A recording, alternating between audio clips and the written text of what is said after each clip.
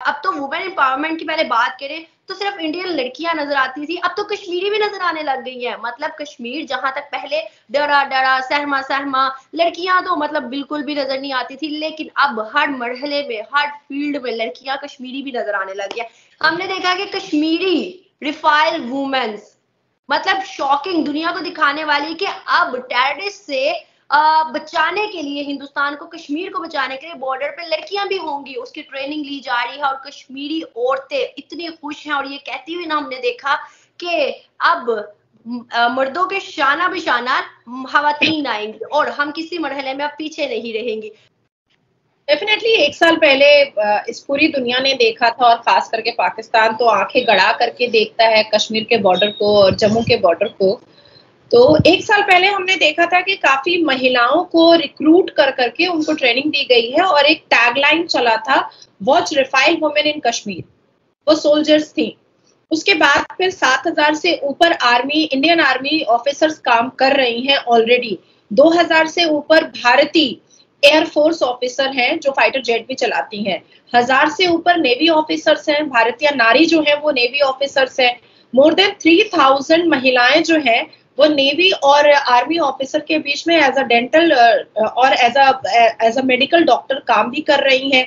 मोदी जी की अग्निवीर योजना जो आई थी, उस अग्निवीर योजना के तहत 100 फीमेल नारियों को, भारतीय नारियों को हर साल रिक्रूट किया जाता है इंडियन आर्मी सोल्जर के हिसाब से, और वो लोग देश को सर्व कर रही हैं।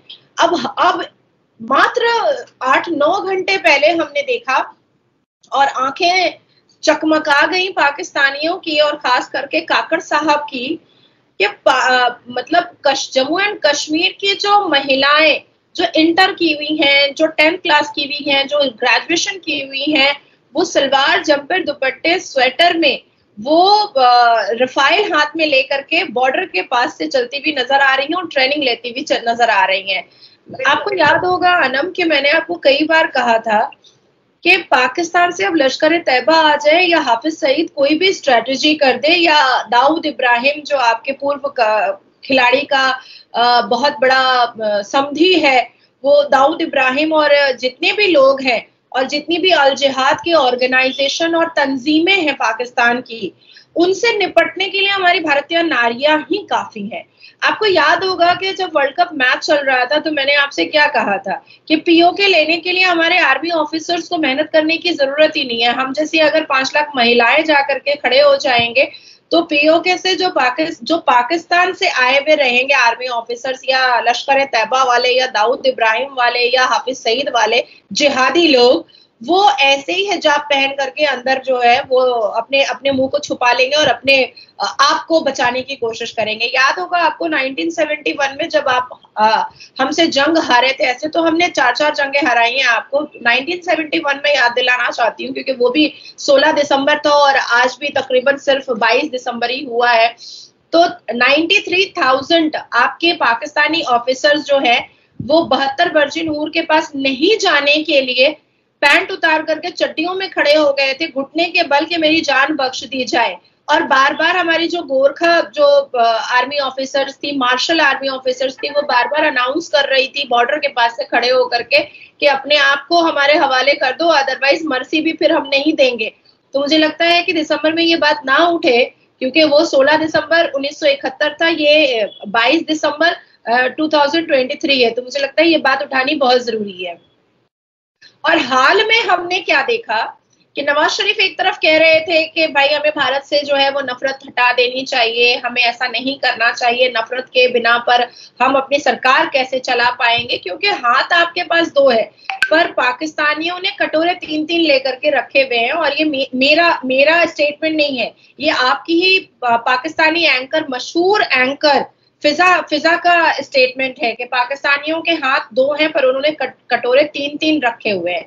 आपके यहाँ सिम कार्ड खरीदने वालों को एक केजी चीनी भी मिलती है। आपके यहाँ महँगा सामान खरीदने वाले को बहु बेटी फ्री में मिल जाती है। क्योंकि जिस पाकिस्तान की तिजोरी में इतने भी पैसे नहीं है कि वो अपना इलेक्शन करवा सके और एक केयर टेकर प्राइम मिनिस्टर बैठा हुआ है चेयर पर और वो और वो ये कह करके टाल रहा है कि अभी आ, अभी इकोनॉमिकल क्राइसिस है इसलिए इलेक्शन नहीं हो रहा है। नवाज़ शरीफ भगोड़ा था वो भी भाई भाग भूग करके आ गया कि अब इमरान खान तो अंदर बैठा हुआ है जेल में। तो भैया अब मेरी कोई रोटी सिखा सकती है अब मैं प्राइम मिनिस्टर पाकिस्तान का बन सकता हूँ। लेकिन फिर भी इलेक्शन नहीं हो रहा because of economical and fund crisis और ऐसे सिचुएशन में आप भारत जैसे भारत जैसे मतलब इकोनॉमी में थर्ड पोजीशन पर भारत आने वाला है। डिफेंस में हम तीसरे पोजीशन पर आने वाले हैं। जहाँ पर भारत में 2100 करोड़ रुपए सिर्फ़ इसलिए मोदी जी फंड कर रहे हैं डिफेंस मिनिस्ट्री को कि और अच्छे से अच्छा जो है वो जेट आ सके, बहुत अच्छे से अच्छा रफाइल आ सके, अच्छे से अच्छा बंदूकें आ सके और सारी चीज़ें आ सके जो आर्मी ऑफिसर को किसी भी वॉर में स्टैंड करने के लिए और जीतने के लिए बिल्कुल आगे रखे। और हमारे आर्मी चीफ ने क्या कहा? कि भारत किसी भी वॉर के लिए तैयार है, किसी भी वॉर के लिए तैयार है। अब ऐसे सिचुएशन में काकड़ ने कड़कड़ा करके कहा कि भाई हम 300 जंगे लड़ेंगे। भाई चार तो हार चुके हो, अभी 300 मतलब क्या मज़ाक कर रहे हो? जोक ऑफ़ द डे कर रहे हो? तो चलो उसका रिप्लाई जो है, वो बहुत एक न्यूज़ में छोटे, एक छोटा सा झलक सिर्फ़ दिखाया गया कि हमारे जो बड़े आर्मी ऑफिसर्स हैं, उनको अपने हाथ में दर्द लेने की ज़रूरत ही नहीं पड़ेगी। काकड़ के लोग आएँगे, जिनके पेट में रोटी नहीं है, दाना नहीं है, जिन्होंने पता नहीं कितने दिन से नहाया नहीं है पाकिस्तान के लोगों ने, पता नहीं कितने दिन से बिजलियों में नहीं रहे हैं पंखे में नहीं रहे हैं वो आएँगे लड़ने के लिए। तो भाई, उसके लिए तो भारत की नारियाँ ऐसे ही भाई, झांसी की रानी होती है। ज्वालामुखी होती है भारत की नारियाँ। मेरे बोलने से मर्द पाकिस्तान के फड़फड़ाने लगते हैं। तो जब मेरे बोलने से उनको इतना इफ़ेक्ट होता है तो आप सोचो कि जब आ, काकड़ के कहने पर जब आपकी आर्मी ऑफिसर पाकिस्तान की आएगी और उसका सामना भारत की ऐसी नारियों से होगा जो जम्मू एंड कश्मीर में घर में रहती है और वो दुपट्टे के साथ और स्वेटर के साथ वो प्रोफ़ाइल चलाएँगी और और उसके बाद फिर इनको आपके आपके आर्मी ऑफिसर को घुटने टेकने पड़ेंगे। दैट्स कॉल्ड विन इसको कहते हैं भारत की जीत। तो देखो, पाकिस्तान के लिए मुझे लगता है कि हम जैसी नारियाँ ही काफ़ी, मैं फिर से यही बात कहूँगी कि वाकई में एक एक न्यूज़ हमने एक साल पहले देखा था watch rifle women in Kashmir जो पर्टिकुलरली सोल्जर्स थी जिन्होंने जो पर्टिकुलरली उन्होंने ट्रेनिंग लिया था पर्टिकुलरली उनके पास वर्दी थी। लेकिन थ्री सेवेंटी एब्रोगेशन के बाद जम्मू एंड कश्मीर की महिलाएँ घर से निकल करके आ रही हैं और वो भी जो इंटर की हुई है क्लास ट्वेल्व की हुई है, जो ग्रेजुएशन की हुई है, एकदम साधारण औरतें वो निकल करके आ रही है और कह रही है कि भाई, ये मेरी डिग्री है, मुझे किसी भी हिसाब से आप ट्रेनिंग दो और हम तो पाकिस्तान को ईट का जवाब पत्थर से देंगे और उनको बताएँगे कि भारत की नारियों में और जम्मू एंड कश्मीर की नारियाँ तुमको कैसे जवाब देती हैं? क्योंकि पाकिस्तान में एक हवा उड़ाई जाती है कि जम्मू एंड कश्मीर जो भारत में है, उसको हमने बहुत डिप्राइव करके रखा हुआ है। वहाँ पर लोग बहुत दिक्कत में है, बहुत बहुत मुश्किल में है। तो भाई कैसी दिक्कत, कैसी मुश्किलात? ये तो आप जम्मू एंड कश्मीर की साधारण महिलाएँ हैं जो आपके ऊपर गोली दागने को तैयार है, जो आपका सीना छलनी करने को तैयार है, जो आपको बहत्तर वर्जिन हुरों के पास पहुँचाने को तैयार है। ये तो जम्मू एंड कश्मीर की साधारण महिलाएँ हैं भाई। इन्होंने तो बचपन में नहीं सोचा था कि ये सोल्जर बनेंगी, या आर्मी ऑफिसर बनेंगी, इनकी अपब्रिंगिंग या इनकी मेंटालिटी तो वो नहीं थी कि हमने आर्मी ऑफिसर बनना है। अब कहीं जाकर के इनकी डिग्रियों के हिसाब से इनको ग्रुप में डाल करके इनको सिखाया जा रहा है और ये क्यों तैयार हो रही है? ये पाकिस्तान को जवाब देने के लिए तैयार हो रही है कि आपके पाकिस्तान में जो युवा, जो जो रोड पर चल रहे होते, जो इतनी अभद्र बातें करते हैं कि भारत में, भारत के लोग, भारत के जम्मू एंड कश्मीर में बहुत अत्याचार करते हैं तो लो भैया, जम्मू एंड कश्मीर की साधारण महिलाएँ अब आपकी छाती में गोलियाँ दागेंगी, आपको बहत्तर वर्जिन हुरों के पास पहुंचाएँगी। अब बोलिए जवाब दीजिए। अब जवाब दीजिए, अब अब क्या जवाब दीजिएगा? आपके पास तो कोई जवाब ही नहीं बचा है।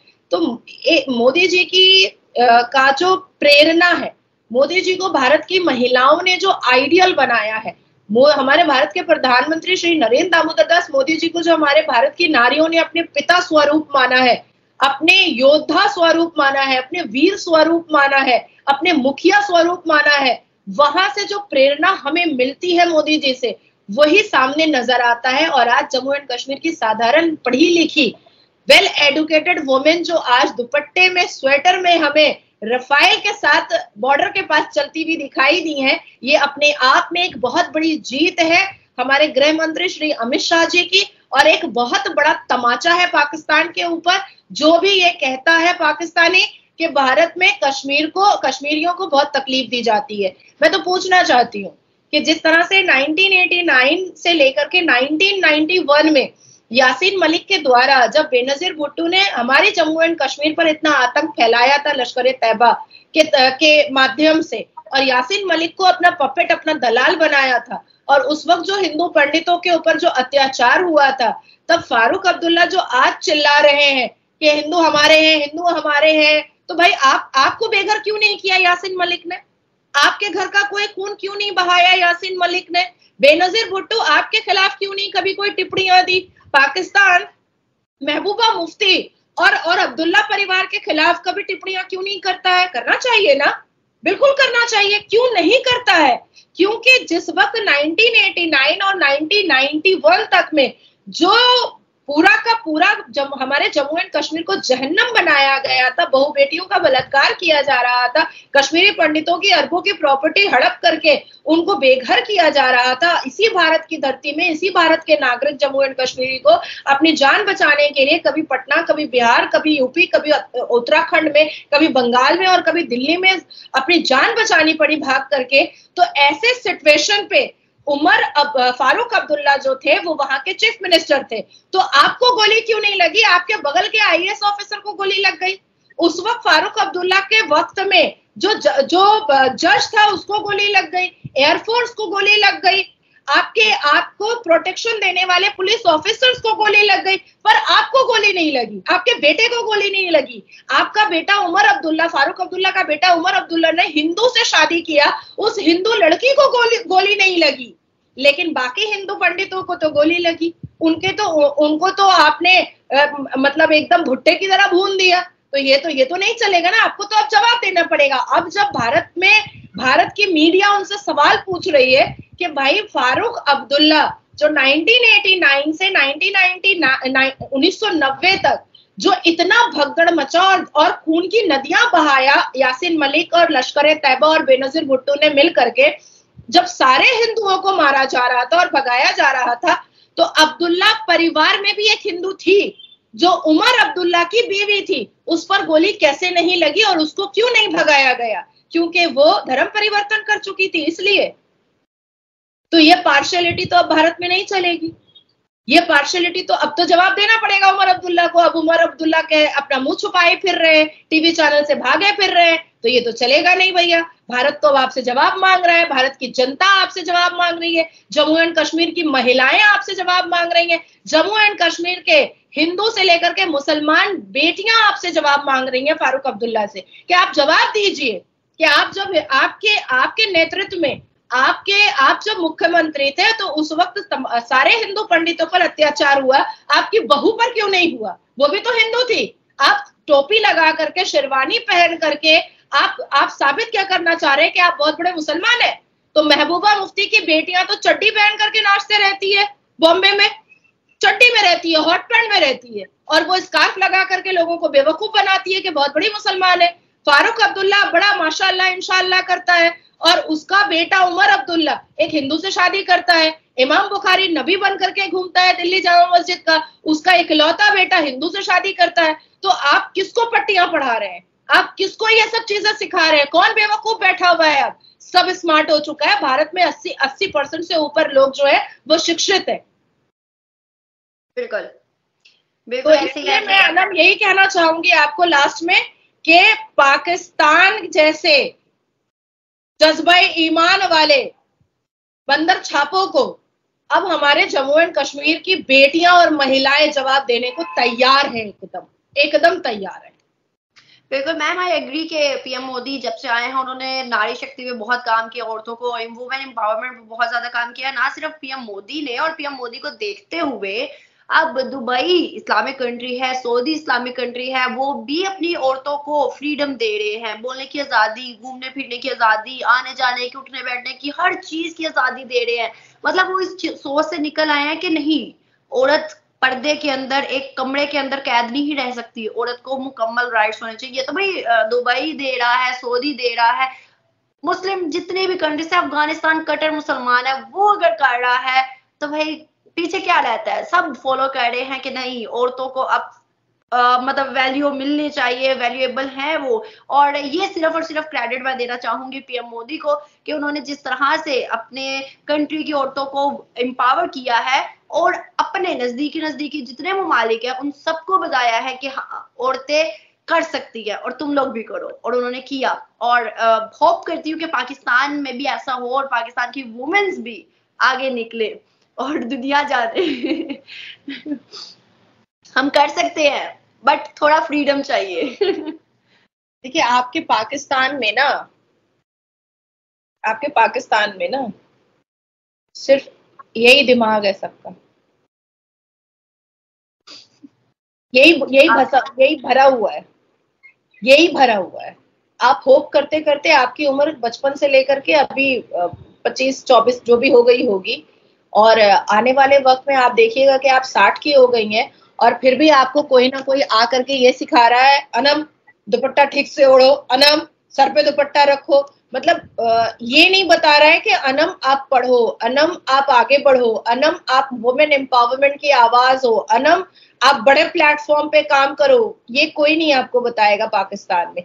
इवन भारत के मुसलमान जो छह सात परसेंट छह परसेंट एक्चुअली छह परसेंट जो सुन्नी मुसलमान है वो भी यही करते हैं वो भी यही करते हैं। आप भारत में देखो ना बोरी मुसलमान इतना सक्सेसफुल है। हम्म। स, मतलब सक्सेस उसके कदम चूम रही है। आप पारसी मुसलमान को देखो आप पारसियों को देखो हमारे भारत में मतलब बिलियनर है पारसी। आप क्रिश्चियंस को देखो हमारे भारत में बिलियनर है। अहमदिया को देख लो अहमदिया को।